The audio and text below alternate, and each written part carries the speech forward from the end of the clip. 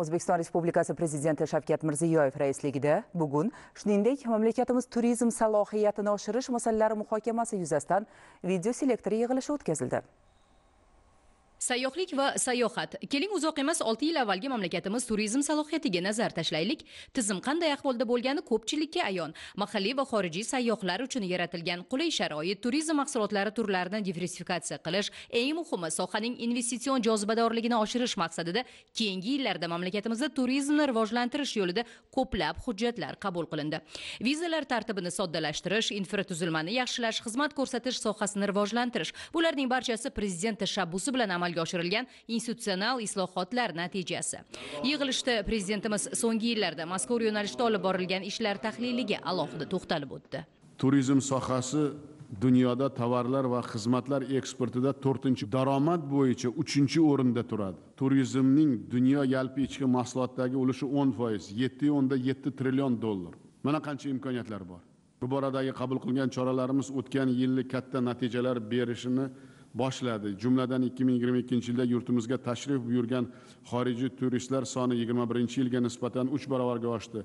5.2 million sohada eksport 1.6 milliard dollarga yetdi. Lekin salohiyatimiz bundan 10 karra yuqori. Ichki turizm dasturlari doirasida 11,5 million shundan 1,5 million ehtiyojmand aholi yoshlar keksalar sayohatlar tashkil etildi. Samarqand yangi turizm markazini barpo etganimiz qo'shimcha 2 million sayyoh jalb qilish imkoniyatini berdi. Bu yili yurtimizda butunjahon turizm tashkilotining bosh assambleyasi yig'ilishi o'tkazilishga katta tayyorgarlik qilyapmiz samarqand ikki ming yigirma uchinchi yilda butunjahon turizm poytaxti bo'ladi. Bu biz uchun juda katta imkoniyat. Umuman bu yil viloyat hokimlari va elchilar yetti million xorijiy va o'n besh million ichki sayyohlarni jalb qilish eksportni ikki yarim milliard dollarga yetkazish bo'yicha o'ziga aniq reja va majburiyatlar olishi shart. Sohaga e'tibor katta bu bejiz emas imkoniyat imtiyoz sharoitlar yaratilgan. Natijachi ya'ni davlat rahbari sohaning buguniga nega e'tiroz bildirdi? Gap shundaki mamlakatimizda turizm sohasidagi salohiyat juda yuqori lekin o'tgan vaqt mobaynida bajarilgan ishlar ana shu salohiyatni ifoda etmayapti. Prezident topshirig'iga ko'ra turoperator mehmonxona transport korxonalari oliygohlar vakillari bilan bir necha bor uchrashilib ularning muammolari va takliflari o'rganildi. O'rganishlar ko'rsatganidek turistlarni faol jalb qiladigan joylar haqida kontent kam bori ham qiziqarli emas. Sayyohlarni to'rt besh kun olib qoladigan tur paketlar yetishmaydi. Yo'l chiptalarini uch olti oy oldindan bron qilish sotib olishda noaniqliklar juda ko'p. Muzey teatr madaniyat maskanlari turizm dasturlari bilan bog'lanmagan ularning ishlash vaqti ham sayyohlar talabidan kelib chiqmagan. Davlat davlatimiz rahbari soha mutasaddilari shu va boshqa kamchiliklar bilan tizimli ishlamayotganini tanqid qildi va keskin o'zgarish qilinishi zarur bo'lgan yo'nalishlarni ko'rsatib o'tdi. So'nggi yillarda beshta yangi xususiy aviakompaniya tashkil qilindi.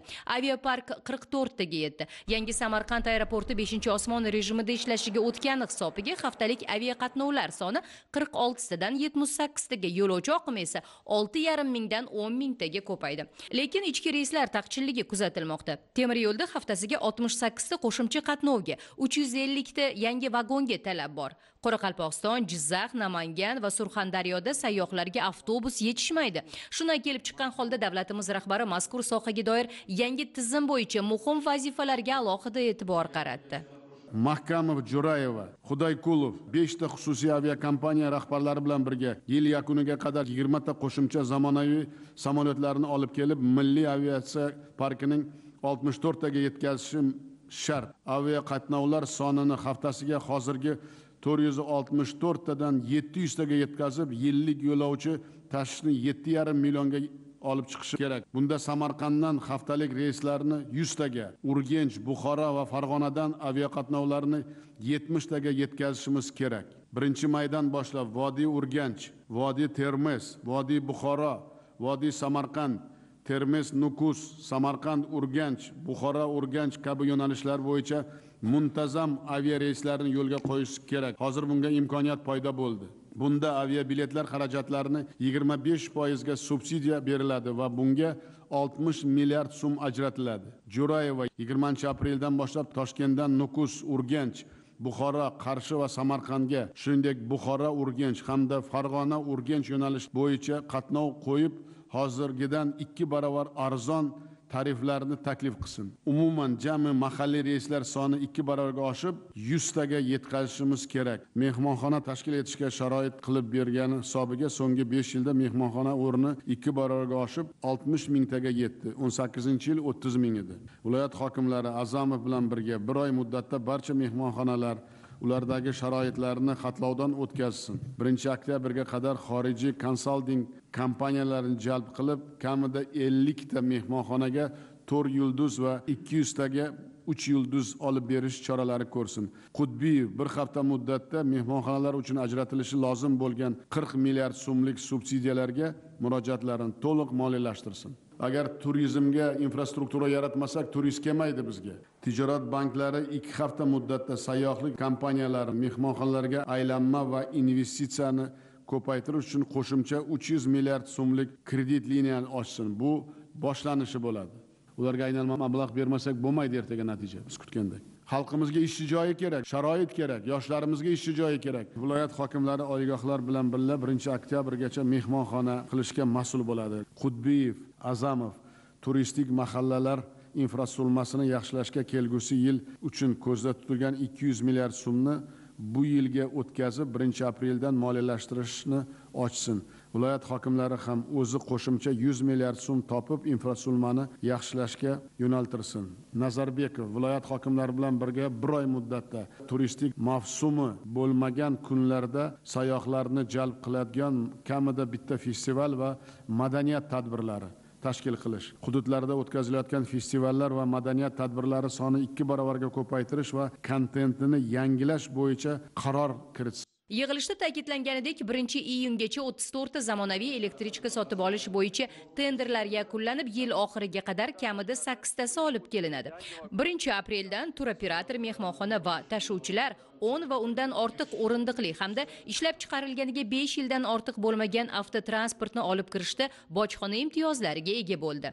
Ikki ming yigirma uchinchi yilda sayyohlik tashkilotlariga ushbu avtobuslarni olish uchun o'ttiz million dollar kredit resurslari taklif qilinadi. Yana bir e'tiborli jihat o'ninchi apreldan xavfsizlik choralarini ko'rib qamchiq dovoni orqali turistik mikroavtobus jizzax dovoni chimyon va chorvoqda turistik avtobus va mikroavtobuslar qatnovi yo'lga qo'yiladi. Sayyohlik kompaniyalari mehmonxonalarga aylanma va investitsiyani ko'paytirish uchun qo'shimcha uch yuz milliard so'mlik kredit liniyalarini ochish belgilandi. Bu kreditlar bo'yicha foizlarning bir qismi tartibga ko'ra tadbirkorlik jamg'armasidan qoplanadi. Agar xorijiy sayyohlarning o'zbekistonda bir kun ko'proq qolishi ta'minlansa yillik turizm eksportini uch yuz million dollarga oshirish mumkin. Misol uchun xorazmda turistlarning qolish muddati o'rtacha ikki kun sarflaydigan mablag'i ikki yuz yigirma dollar. Bu buxoro samarqandga qaraganda ikki yarim kam degani lekin xorazmda sayyohlarni uch to'rt kun olib qolish va to'rt yuz besh yuz dollar xarajat qilishlari uchun barcha imkoniyatlar mavjud. Yoki o'tgan yili o'ttiz bitta tuman va bir yuz qirq uchta mahalla turizmga ixtisoslashtirilib ularda alohida soliq rejimi joriy qilindi. Bu imkoniyatdan forish urgut xo'jayli payariq nurota tumanlari va angren shahri samarali foydalangan xolos. Na temir yo'li bor infratuzilmasi rivojlanmagan chekka hududda joylashgan bu tumanlarda shuncha o'zgarish bo'lsada sharoiti ancha yaxshi hisoblangan. Kogon kitob xatirchi qiziltepa yangi qo'rg'on toyloq boysun parkent bog'ot tumanlari bu imkoniyatlardan foydalanmayotgani tanqid qilindi. Endi turizm salohiyatini oshirish bo'yicha yangi tizim joriy qilinadigan bo'ldi. Viloyatlar ularga biriktirilgan o'n bitta oliygoh bilan hamkorlikda ishlab turizm obyektlari to'g'risidagi kontentni boyitishi lozim bo'ladi. Unga ko'ra o'ttiz bitta tuman va ulardagi bir yuz qirq uchta turizm mahallasining tarixi yodgorliklari va turistik obyektlari uchun kontent yaratadi. Kamida o'n ikkita tilda turistik paketlar ishlab chiqiladi. Turizm iqtisodiyot tarix geografiya servis xorijiy tillar yo'nalishlarida o'qiyotgan talabalarning kamida ikki oylik amaliyoti shu tumanlarda tashkil etiladi. Sohaga daxldor ishchilar o'qitiladi. Bugungi turizm mavsumi qisqa uni uzaytirish bo'yicha esa mamlakatda salohiyat juda katta. Masalan toshkent jizzax viloyatlarida qishki mavsumda toqqa chiqish chang'i uchish maydonlarini andijon samarqand qashqadaryo navoiy viloyatlari va toshkent shahrida yozgi mavsumda cho'milish maskanlarini tashkil etib turistik mavsumga yana ikki oy qo'shish mumkin. Mumkin. Belgilab berilgan vazifalardan kelib chiqib tegishli vazirlik va mutasaddilarga festival va madaniyat tadbirlarini ko'paytirish qishki ekologik turizmni rivojlantirish qo'riqxona tabiat bog'lari tabiat yodgorliklari imkoniyatidan foydalanish bo'yicha topshiriqlar berildi. Shuningdek muallim va tibbiyot xodimlari endi alohida dastur bo'yicha yurtimiz bo'ylab sayohat va dam olishlari tashkil qilinadi. ikki ming yigirma uchinchi yil mamlakatning turistik salohiyatini jahonga targ'ib qilish yili bo'lib bunga yuz milliard so'm ajratiladi. O'zbekistonning tashrif qog'ozi ishlab chiqiladi. Turizm brendi yangilanadi. Xorijiy telekanallarda o'zbekiston tashrif qog'ozini efirga uzatish aqsh xitoy arab davlatlari yaponiya koreya fransiya germaniya buyuk britaniya malayziya rossiya qozog'iston kabi mamlakatlarning yirik shaharlari gavjum ko'chalaridagi ekranlarda o'zbekiston turizm brendi haqidagi ma'lumotlarni joylashtirish milliardlik obunachilari bor internet platformalarida o'zbekiston haqidagi reklama roliklarini ko'paytirish topshirildi. Viloyat hokimlari ham o'zining hududini xorijda keng targ'ib qilishga o'rganishi kerakligi ko'rsatib o'tildi. Buning uchun viloyat hokimlari turoperatorlarni jalb etib piar markazi filiallarini tashkil qiladi. Ular har bir viloyatning tashrif qog'ozini ishlab chiqadi. Toshkent shahri hamda hududlardagi aeroport vokzallar va mehmonxonalarda turizm bekatlari tashkil qilinadi. Har bir viloyat o'zi uchun xos bo'lgan mavsumiy turistik paketini tayyorlaydi. Festival va konsertlar o'tkazish grafikini tasdiqlab nafaqat mahalliy balki xorijiy sayyohlar uchun ham e'lon qiladi. Har bir davlat o'zini mana shu ichki imkoniyatlaridan izlab mana shu yalpi ishlab chiqarishini ko'paytirishga harakat qilyapti. Bizni imkoniyatimiz cheksiz cheksiz turizm bo'yicha. Biz mana shu uch to'rt yilda qonuniy bazasini yaratdik. Endi ilm bilan amalda amalga oshirsak har bir tumanni o'zida ham imkoniyati bor. Tur operatorlari bilan dardini eshitish kerak. Ularda ham muammo juda ko'p. Bitta turist olib kelgani ham bizga foyda. U ham bitta ishchi joy. Imkoniyat bor bizda. Bu xalqimizga juda katta manfaat olib keladi. Xudo bergan yurt bu. Juda katta imkoniyati ziyorat turizmi shaharlar turizmi rivojlangan davlatni o'zi kam dunyoda. Imom buxoriy qayerda bor? Maturidiy bobomiz qayerda bor ziyorat turizm bo'yicha? Bu kichkina yo'nalish emas. Nimaga man qarorni qabul qilishdan oldin qancha qancha odam bilan ko'rishib bugun mana sizlar bilan muloqot qilyapman. Bu yangi darajaga chiqishimiz yangi pog'onaga chiqishimiz mutlaqo yangi natijalarga erishishimizga zamin yaratishimiz kerak. Har kunimiz izlanish kurash bu. Ana shu kurashga belimizni mahkam bog'lab harakat qilsak natija biz kutgandek bo'ladi. Yig'ilish yakunida mutasaddilarning axboroti eshitildi. O'zbekistonni turistik salohiyati ancha yuqori ekanligini va bugun mana shu barcha imkoniyatlarimizdan to'liq foydalana olmayotganligimizni e, ta'kidlab topshiriqlar berdilar prezidentimiz. O'zbekistonga sayyohlarni qiziqishi ortib boryapti kundan kunga. Lekin bu bilan birga biz ichki imkoniyatlarimiz ya'ni e, infratuzilmalarimizni turistlarni talabi darajasida tashkil etish Э, haqiqatda bugun э, oldimizda turgan eng dolzarb muammolardan biri. Bugun hurmatli prezidentimiz э, mana shu muammolarni bandma band sanab va ularni yechimlari bo'yicha mana ikki yuz milliard mablag' ajratib berdilar. Turoperatorlarimizni e, faoliyatini qayta ko'rib chiqish va ularni e, bugun muammolarini bartaraf etish bo'yicha ham e, qator imtiyozlar e, joriy etildi. Prezidentimiz turizm sohasida bo'layotgan ishlarni yana bir bor har bir yo'nalishini e, bog'lab berdilar. Bitta zanjirga ya'ni shu turizm salohiyatimizni o'n karra yana ko'tarish imkoniyatlarini ham ko'rsatib berdilar. Turizmdan olinadigan daromadlar faqatgina shu yirik turistik markazlarimiz emas balkim oddiy qishloqlarni aholisi ham o'zlari shu turist kelganda manfaatdor bo'lishini ta'minlovchi qarorlarni belgilab berdilar. Ya'ni shaharlarimizda kerakli infrastrukturani yaratish ya'ni ularni shu yo'llari kerak bo'lsa shu e, infratuzilma ta'minotlarini yaxshilash nuqtai nazaridan topshiriqlar berildi. Va shu bilan birgalikda e, xorijiy davlatlardan olib kelishga mo'ljallangan piar e, dasturlarini ham barcha muammolarni shu jumladan moliyaviy manbalarni ham belgilab berdilar. Shuni alohida aytish kerakki prezidentimiz ko'rsatmalariga ko'ra hozirgi kunda biz nafaqat shu tashkillashtirilgan yoki guruhda keladigan sayyohlar emas balkim xalqaro turizmda bo'layotgan tendensiyalarni ham tahlilidan kelib chiqqan holda yangi yo'nalishlarni belgilab berdilar. Ya'ni hozir mana yosh turistlarimiz ular e, turkompaniya e, orqali emas balkim turli ilovalar shu e, internet orqali o'zlariga turlarni topib turli davlatlarga tashrif buyurmoqdalar sayyohlik qilmoqdalar va shu borada judayam katta ishlar amalga oshiriladi ya'ni barcha o'zi mustaqil ravishda o'zbekistonga keluvchi e, sayyohlarga ham shartli yaratib beriladi. Ularga barcha ma'lumotlar tur paketlar e, qulay transport logistikasi ham yaratiladi. Bu degani biz e, turli turistik oqim qatlamlarini o'zbekistonga olib kelishga erishamiz.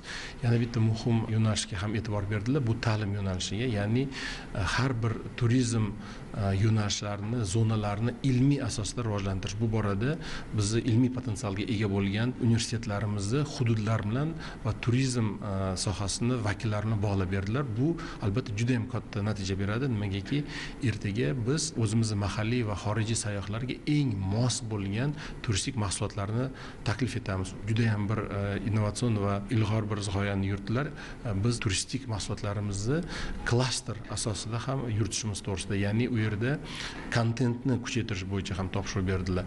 Klaster deganimizda u yerda nafaqat o'sha joylashish vositalari yoki transport masalalari yechiladi balkim shu bilan birgalikda ular o'zini sayyohlarimiz o'zini vaqtlarini mazmunli o'tkazish ularga turli o'zimizni mana kulinariya yo'nalishida hunarmandchiligimiz milliy urf odatlarimiz shu birgalikda kerak bo'lsa an'anaviy tadbirlarimizda qatnashish bu albatta kontentni boyitirish va bundan tashqari noan'anaviy kontentni ham kuchaytirish bo'yicha topshiriq berildi belgilab bergan yo'nalishlar o'zbekistonga kamida o'n million xorijiy sayyohlarni kelishi va e, demak ichki turizmimizni yanada rivojlantirishga imkon beradi. Buni asosida albatta e, prezidentimizni eng oliy va pirovard maqsadlari bu e, bizni fuqarolarimizni ish bilan ta'minlash yuqori daromadli ish joylarini yaratish daromadni ta'minlashga omil bo'ladi. Namangan viloyatida to'rt yil oldin atigi o'n besh mingta xorijiy turistlar va ellik mingta ichki turistlar jalb etilgan. ikki ming yigirma ikkinchi yilda e, xorijiy turistlar soni sakson mingtaga va ichki turistlarimiz soni uch milliontaga yetdi. Bunda hurmatli prezidentimiz tomonidan sohaga yaratib berilgan imkoniyatlar imtiyozlar juda katta e, rol o'ynadi. Birgina gullar festivali doirasida viloyatimizga bir million yetti yuz mingta ichki turistlar jalb etildi. O'tgan yili birinchi marta asalarichilik festivalini xalqaro darajada o'tkazishga erishdik. Oltita davlatdan ikki yuz ellik nafar asalarichilar qatnashib ko'plab turistlarni jalb qilishga imkoniyat yaratdi. Shuningdek bugungi kunda viloyatimizda meditsina turizmini rivojlantirish bo'yicha bir qator ishlarni amalga oshiryapmiz prezidentimizning alohida qarorlariga asosan chust tumani va yangiqo'rg'on tumani turistik zona sifatida alohida ko'rsatib o'tilgan va bu tumanlarga turizm sohasidagi e, yuridik shaxslarga soliq tizimida imkoniyatlar yaratib berdik. Buni hisobiga bugungi kunda e, chus va yangiqo'rg'on tumanidagi g'ova e, yoki nanay degan qishloqlarimizga mana shu ko'plab mehmon uylarini oshxona umumiy ovqatlanish shoxobchalari va turistik obyektlarni qurish e, imkoniyati yaratilmoqda. Nanay e, qishlog'ida judayam e, yaxshi bahavo joylarimizda bu yil alohida dastur ishlab chiqdik va bu dasturga asosan ellik milliard so'mlik o'n uchta yirik loyiha va qolaversa cho'milish havzalari soy bo'yida sayohat qilish umuman uloq ko'pkari va Э, dor yo'llarni o'rnatish bo'yicha ishlarni amalga oshiryapmiz xorazm viloyati bo'yicha turizm sohasi juda muhim driver soha hisoblanadi. Shuni inobatga olib birinchi navbatda oldimizda turgan masala hozirgi kunda xorazm viloyatiga ya'ni xiva chankala majmuasiga keladigan e, sayyohlarimiz bir kun Э, xorazm viloyatida ushlab turish imkoniyatimiz mavjud. Biz birinchi navbatda oldimizga qo'ygan e, masalamiz e, shu sayyohlarimizni kamida uch yoki to'rt kun olib qolish. Buning uchun turizm maskanlarini ko'paytirishimiz kerak. Bu borada biz o'zimizga yo'l xaritalar qilib olganmiz. Prezidentimiz tomonidan bugun ham sayyohlarni olib kelish bo'yicha bir qancha topshiriqlar berildi. Jumladan xorijiy sayyohlarni e, olti yuz mingga yetkazish bo'yicha aniq rejalar belgilab berdi. Bu rejalarni bajarish uchun bizda to'liq imkoniyatlarimiz mavjud. Hozirgi kunda biz tegishli mutaxassislar bilan shu xorazm viloyatimizni e, sayyohlik salohiyatini o'rganib ko'rganimizda hali biz mavjud imkoniyatlardan e, yigirma foizdan foydalanib bilmayotganligimiz e, ko'rindi. Buni biz hamma hisob kitoblarini qilganmiz. Bu bo'yicha endi bugungi kunda nima ish qilishimiz kerak? Shuni o'zimizga belgilab oldik. Hozirning o'zida to'qqizta yo'nalish bo'yicha biz sayyohlik markazlarini tashkil qilish bo'yicha ishlarimiz boshlandi. Shundan oltita sayyohlik maskanlari bugungi kunda sayyohlarni qabul qilishga tayyor. Qolgan uchtasidan bugungi kunda qurilish ishlari davom qildiryapti umuman bugungi selektor yig'ilishida berilgan topshiriqlardan kelib chiqib yana bir marta o'zimizga chora tadbirlar ya'ni yo'l xaritalarini belgilab ishlarimizni yana davom qildiramiz hurmatli prezidentimiz tomonidan bugun o'tkazilgan selektor yig'ilishida bizda ichki va xorijiy turistlarni kengroq jalb qilish va ular sonini oshirish bo'yicha aniq vazifalar belgilab berdilar. Bu vazifalarda bizni ichki imkoniyatlarimizni o'rganib ko'rganimizda judayam ko'plab bizlarda imkoniyatlar borligi aniqlandi. Xususan muhtaram prezidentimiz tomonidan bizda temir yo'l va havo yo'llaridagi reyslarimizni to'g'irlab berdilar. Bugungi mehmonxonalardagi sharoitlarni yaxshilash sayyohlar uchun qulay shart sharoit yaratish bo'yicha keng ko'lamli ishlarni amalga oshirish bo'yicha bizga aniq vazifani belgiladi biz bugungi o'rganishlarimizda boysun tumanida juda katta imkoniyatlarga ega ekanligimiz ichki turizm jalb qilish bo'yicha salohiyat o'ta yuqoriligi aniqlandi. Bundan tashqari biz termiz tumanidagi etnik shaharcha va ekoturizmni rivojlantirish va safari usulida suv bo'yida turistik oqimni jalb qilish bo'yicha bizning salohiyatlarimiz ham belgilab berildi. Bu boradagi biz ishlarni investorlarni jalb qilgan holatda boshlab yubordik. Termiz tumanida jarqo'rg'onda hamda boysun tumanida alohida chora tadbirlar belgilab olindi. Bundan tashqari muhtaram prezidentimiz tomonidan surxondaryo salohiyatdan kelib chiqib etnik folklor e, yo'nalishida ham turistik oqimni jalb qilish bo'yicha vazifalar belgilandi. Bu borada kelgusi yilda o'tkaziladigan boysun bahori tadbiri uchun ham biz joylar tanlanib investorlarimiz tomonidan bugun qurilish ta'mirlash ishlari boshlab yuborildi. Hurmatli prezidentimiz turizmni rivojlantirishni eng e, istiqbolli yo'nalishlari e, sohalarga qanday e'tibor berish kerak qayerga e, kuch g'ayratlar va kapitalni sarflash kerak mana shular haqida juda yaxshi ko'rsatmalar berdilar. o'n kunni ichida biz samarqand viloyatiga ikki million yuz mingdan ziyod xorijiy turistni besh millionga yaqin ichki turizm e, mahalliy turizmni olib kelish bo'yicha topshiriqlarni ijrosini ta'minlab beradigan yo'l xaritasini tayyorlaymiz. Turizmni harakatlantiruvchi kuchi bu reklama.